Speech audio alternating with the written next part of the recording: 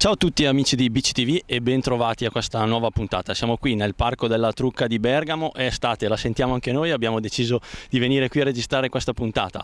Eh, in questi giorni, durante il Ferragosto e anche nei giorni precedenti, abbiamo seguito per voi alcune manifestazioni, alcune gare che ci sono state nel calendario bergamasco ma non solo e per questo abbiamo deciso di proporvele come al solito nella nostra 100 secondi.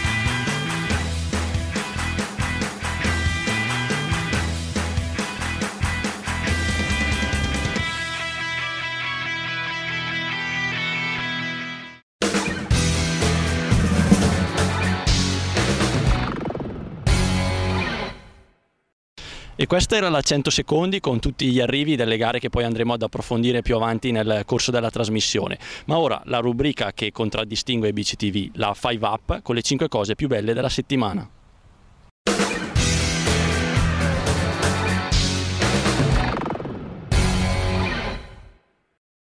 Quinta posizione della nostra 5 up settimanale per lo junior valtellinese Michele Trinca Colonel che sta godendo di un ottimo periodo di forma, come non mai in questa stagione che ha portato l'atleta della Massi Supermercati a conquistare due secondi posti in pochi giorni. Il primo il 16 agosto a Calvagese alle spalle di Sartor e il secondo domenica scorsa nella corsa nazionale di Casteldario arrivato alle spalle del fortissimo sprinter Riccardo Minali. Al quarto posto un altro valtellinese che difende i colori di una squadra aerobica. Si tratta dell'allievo Alan Giacomelli del pedale brembillese, già campione provinciale di categoria e che a culmine di un buon periodo di forma, che lo aveva già visto settimo nelle gare di Voltorta e Fomarco e prima ancora vincere la Gazzaniga Onore, domenica scorsa ha raccolto la sua quarta affermazione della stagione, vincendo sul traguardo di Sondrio la prima prova del Giro della provincia di Como. Terza posizione per il dilettante aerobico Gianfranco Ziglioli, che oltre al terzo posto al Gran Premio Capodarco vince il Gran Premio Valdaso di Rubianello, sempre nelle Marche, portando a quota 8 il numero di successi stagionali in stagione. Un vero record, una stagione fantastica che legittima il suo prossimo periodo di prova come stagiaire con i professionisti con la maglia dell'Androni Venezuela. In casa Colpac ricordiamo anche la bella vittoria di Giorgio Bucchiola a Villa del Bosco. Secondo posto per il team Palazzago Fenice della famiglia Tironi che ha vissuto una tre giorni a cavallo di Ferragosto davvero incredibile.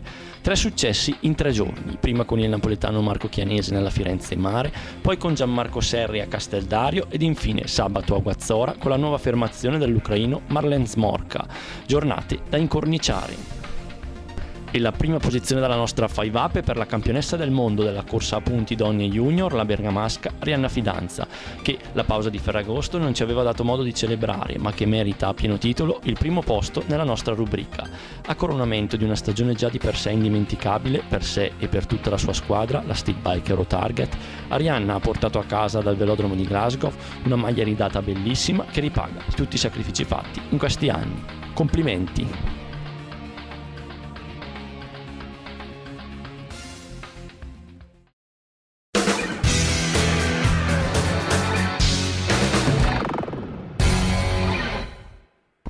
E questa era la 5 up di questa settimana. Ma ora, come promesso, andiamo a vedere tutte le immagini dei servizi che vi proponiamo in questa puntata. Avremo innanzitutto alcune gare della giornata di ciclismo che si è disputata a Villa Franca di Verona. Poi la gara del 13 di agosto, la cronoscalata da Cassiglio a Valtorta, valida come penultima prova della Challenge Valle Brembana.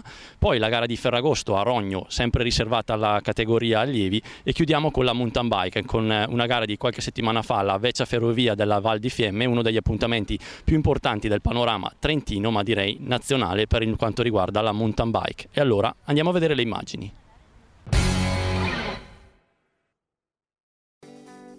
«30 metri. È questo lo spazio che ha diviso Nicola Conci, Riccardo Lucca e Stefano Ciardo al termine degli 8 km della cronoscalata Cassiglio Valtorta, organizzata dal pedale brembillese lo scorso 13 agosto e valida come quarto atto della Challenge Valle Brembana.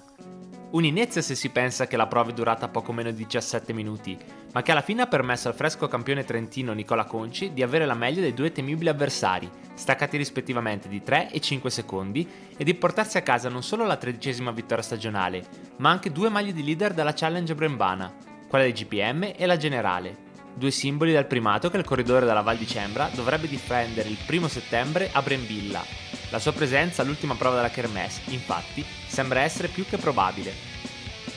Ma l'epilogo sul filo dei secondi è stato solo l'apice di una sfida stellare che, per quanto abbia visto al via meno atleti al previsto, solo 45, è stata animata da quanto di meglio il panorama del nord Italia potesse offrire in tema di passisti scalatori.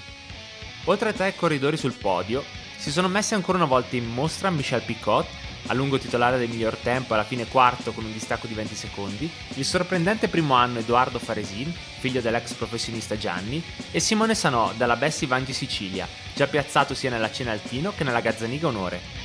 E il Lombardi? Il migliore risultato essere Alan Giacomelli, settimo a 62 secondi dal vincitore, che ha preceduto di poco Rocco Ventrelli, Giovanni Minari e Davide Baldaccini, un primo anno che sempre più frequentemente sta entrando negli ordini d'arrivo.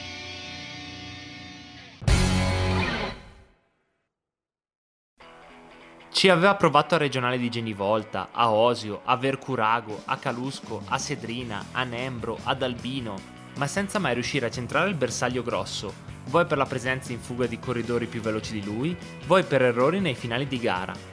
Invece nel quinto trofeo Fratelli Agliardi, disputatosi a Rogno a Ferragosto sotto la regia del Team Bar Blanco, Elia Pedrali ha fatto tutto alla perfezione, andandosi a prendere di prepotenza la prima vittoria stagionale su strada, il corridore della Ciclotin Nembro è transitato tutto solo sul traguardo al termine di una fuga di 45 km, 35 dei quali in perfetta solitudine, resistendo con una facilità incredibile al ritorno di Davide Baldaccini, Lorenzo Bani, Niccolò Brescianini e Stefano Bavassori, altro grande protagonista di giornata.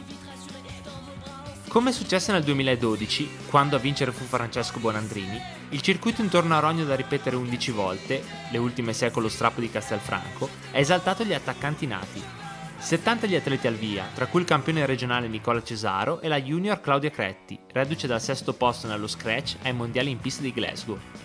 I primi a provarci sono stati Stefano Vavassori e Michele Dormienti, che hanno salutato la carovana nel terzo giro. Dopo una ventina di chilometri, però, su di loro è piombato come un falco Elia Pedrali, sganciatosi di forza da un gruppo alquanto passivo, Impressionante la determinazione del bergamasco che, senza fare troppi calcoli, ha ridato impulso all'azione, costringendo alla resa prima uno sfinito Dormienti e poi lo stesso Vovassori, raggiunto nel corso del terzultimo giro dal compagno di squadra Davide Baldaccini, dal bresciano Lorenzo Bani e da Nicolò Brescianini. Nonostante al traguardo mancassero ancora una ventina di chilometri, Pedrali non ha avuto problemi nel gestire i 20 secondi di vantaggio sui quattro inseguitori, meritandosi appieno questo primo centro stagionale, La piazza d'onore è stata decretata in uno sprint ristretto tra Brescianini, Bani e Baldaccini, con il portacolori della Paladina che ha preceduto il corridore bresciano, mentre l'ottimo Vavassore ha concluso la sua fatica in quinta posizione. La volata del gruppo, arrivato con un primo 45 secondi di ritardo, è stata vinta da Luca Bontempi davanti a Nazareno Manzoni, Vitali Iazcu, Riccardo Natello e Cristian Coccoli.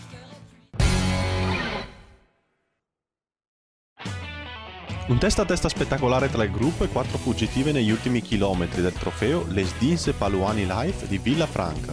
A vincere una splendida Martina Michelotti che si aggiudica lo sprint ristretto tagliando il traguardo davanti ad Alice Gasparini, Alessia Bonfatti e Valentina Cazzaro. Una gara semplicemente splendida con continui attacchi e contrattacchi con addirittura un allungo della campionessa italiana Elisa Balsamo in coppia con la vincitrice del Festival Olimpico Europeo della Gioventù Martina Alzini. Le due sono braccate in prima battuta da due super passiste come Martina Stefani e Nicole Magagna, ma il gruppo, conscio del potenziale pericolo di un simile quartetto, reagisce. In contropiede però partono altre quattro atlete di tutto rispetto. Si tratta di Valentina Cazzaro del Sud Tirolo, atleta particolarmente brillante qualche anno fa da esordiente, la battagliera Alessia Bonfatti della Tonino Lamborghini, la portacolori delle Nexere Village Alice Gasparini, già vincitrice a Gazzotto degli Ippoliti dopo una fuga a due, ma soprattutto una Martina Michelotti che tanto ci ha entusiasmato ad Almine facendosi 20 giri in solitaria nella corsa a punti aggiudicandosi così il titolo tricolore. Il vantaggio delle quattro oscilla tra i 10 e i 29 secondi e al traguardo non c'è storia. Vittoria numero 2 per la portacolori della Re Artù Factory Team. E allora ecco le sue parole raccolte dal nostro Fabiano Ghilardi. Martina Michelotti, prima qui oggi a Villafranca, una bella fuga a 4 e poi la volata raccontacela tu. Ho provato a partire lunga perché so, negli scatti corti no, non sono tanto brava e poi eh, eh, sentivo che avevo recuperato un po' dai primi giri dove invece ero, ero più col fiato tirato. Avete corso in un'ora molto calda, però siete state brave, pur con un vantaggio che non è mai andato oltre i 25 secondi, avete saputo resistere per tanti giri. Vuoi dedicare a qualcuno questa vittoria? Eh, la dedico a tutta la mia squadra che mi aiuta sempre e ai miei genitori.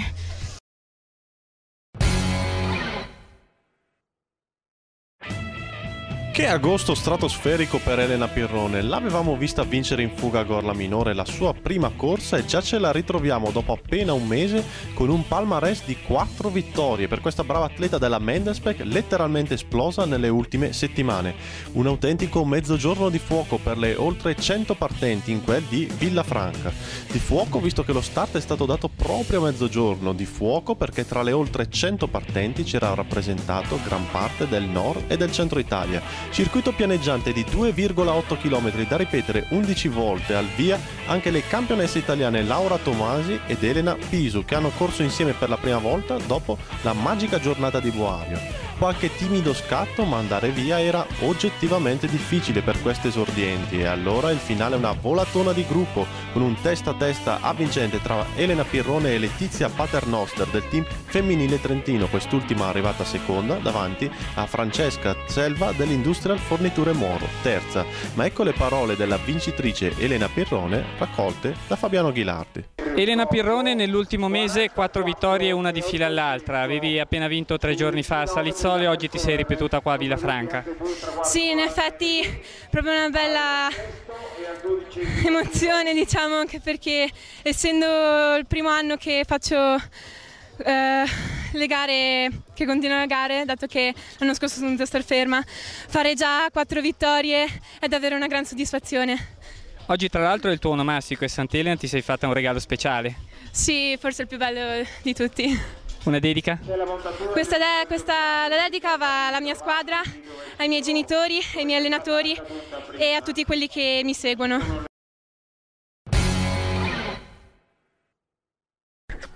Sul tracciato della vecchia ferrovia della Val di Fiemme i vagoni più veloci sono quelli di Bergamo, nella classica prova trentina valida anche per il circuito Trentino MTV, a imporsi è stato proprio l'orobico Johnny Cattaneo della Selle San Marco Trek che si è lasciato alle spalle Cristian Cominelli dell'Avionox Evo giuntogli alle spalle per soli 18 secondi. Terzo Tony Longo, portacolori della Tix Active Bianchi, che ha chiuso a 35 secondi. Pronti via e dopo una prima fase decisamente tranquilla, il tracciato di 40 km riserva sorprese. Nel tradizionale passaggio nella galleria, il sestetto che si era selezionato in testa alla corsa, composto da Cattaneo, Cominelli, Longo, Mensi, Ragnoli e Paulissen, perde due vagoni. Il campione italiano della Scott Racing Team e l'ex campione del mondo cadono nel buio del tunnel e devono dire addio ai sogni di gloria. I quattro davanti restano separati da pochi secondi fino all'ultimo strappo quando allunga Cattaneo e si stacca di ruota soprattutto Cominelli che già sperava in un arrivo in volata. Vittoria quindi di Cattaneo davanti a Cominelli, poi Longo e Mensi. Alle spalle dei primi quattro ha chiuso l'eterno Marzio poi Arias Cuervo, Roel Paulissen, Emanuele Spadi, Francesco Figini e Ivan De Gasperi. In campo femminile bella prestazione e vittoria di Elena Gaddoni che ha preceduto Anna Ferrari e Lorenza Menapace. Proprio la Menapace rimane al comando della classifica generale di Trentino MTB dopo quattro prove prima di andare ad affrontare la penultima dell'8 settembre a Val di Fassa Bike. In campo maschile tra gli Open comanda la graduatoria Johan Palluber. Ma andiamo a sentire le parole dei due vincitori della Vecchia Ferrovia. Finalmente ho partecipato, questa è la terza volta che partecipo, ho fatto terzo per due volte e quest'anno sono venuto per volermi togliere il sassolino dalla scarpa e me lo sono tolto, sono contentissimo. Sì, è una gara veramente dura da interpretare, eh, sono partita bene, poi nella salita mi aveva raggiunto Anna, ho, non ho mollato fino alla fine, in discesa sono riuscita a prenderla e ho tenuto duro fino all'arrivo, è andata bene. E queste erano tutte le immagini di questa settimana. Noi siamo ormai giunti a conclusione. A me non resta che ringraziarvi, gentile pubblico, per la vostra attenzione, coloro che ci seguono come sempre da Video Bergamo, canale 85 del Digitale Terrestre. Ricordo anche le consuete repliche, quella del giovedì alle 14.30 e quella del venerdì alle 18.05. Ma anche coloro che ci seguono eh, molto appassionati anche online sulle varie piattaforme YouTube, Facebook e Twitter, ma anche sul nuovo sito www.bctv.it. Noi quindi siamo ormai ormai alla fine, io vi ringrazio ancora, vi do appuntamento alla prossima settimana per una nuova puntata di BCTV. Un saluto da Giorgio Torre.